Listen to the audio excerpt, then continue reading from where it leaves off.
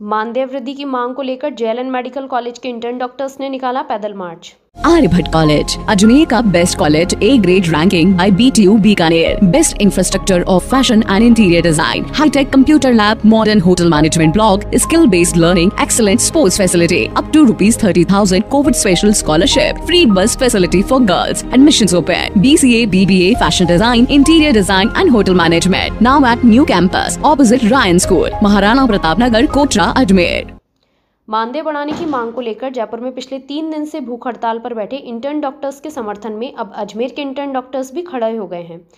अजमेर में आज इसी मांग के समर्थन में इंटर्न डॉक्टर्स ने जेएलएन अस्पताल के आपातकालीन इकाई के बाहर से मेडिकल कॉलेज तक पैदल मार्च निकाला और सरकार से उनकी मांगों पर सहानुभूतिपूर्वक विचार करने की अपील की। इंटर्न डॉक्टर्स का कहना है कि मौजूदा समय में उन्हें सिर्फ़ सात हज़ार रुपये का मानदेय दिया जा रहा है। वह अन्य राज्यों की तुलना में बेहद कम है और इससे वे अपनी बुनियादी ज़रूरतों को भी पूरा नहीं कर पा रहे हैं। यदि सरकार उनकी मांग नहीं मानती है तो वे भी भूख हड़ताल शुरू कर देंगे। जी सर किस चीज़ का विरोध कर रहे हैं आज? अभी अभी जो ये इंटर्न डॉक्टर हैं वो अपनी वाजिब मांगे के लिए जो प्रदर्शन कर रहे हैं रैली निकाल रहे हैं। उसके लिए रेजिडेंट एसोसिएशन अजमेर का पूर्ण समर्थन है। इनकी मांगें वाजिब हैं। जो आज के टाइम में नरेगा के मजदूर हैं उनकी भी न्यूनतम मजदूरी ज़्यादा है इनकी बजाय। ये मतलब अपनी जान पे खेल के नहीं इनका कोई इंश्योरेंस है नहीं कुछ हो रहा है। उसके बावजूद भी ये लगातार कोविड के अंदर भी ड्यूटी कर रहे हैं। तो सरकार को सहृदयता दिखाते हुए इनकी मांगों को मानना चाहिए। क्या मांगे हैं इनकी? मांग तो एक तो जो मिनिमम स्टाइफंड है, जो सात हज़ार है, वो सबसे कम है भारत के अंदर।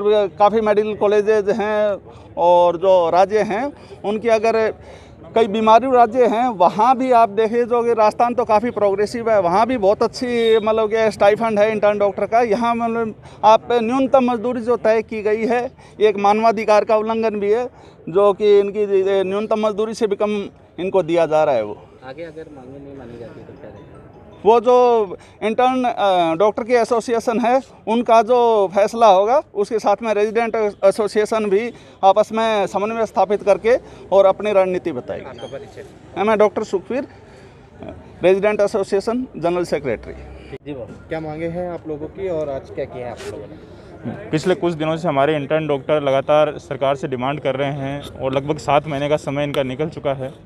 इनकी एक बेसिक मांग है कि इनका जो महीने का वेतन है वो मात्र सात हज़ार रुपये है, जिसमें इनका घर परिवार चलाना या रहना ये संभव है नहीं। तो हम चाहते हैं सरकार से कि इनके एक सम्मानजनक इनको स्टाइफंड दिया जाए और इनकी मांगे मानकर हड़ताल तुलवाई जाए।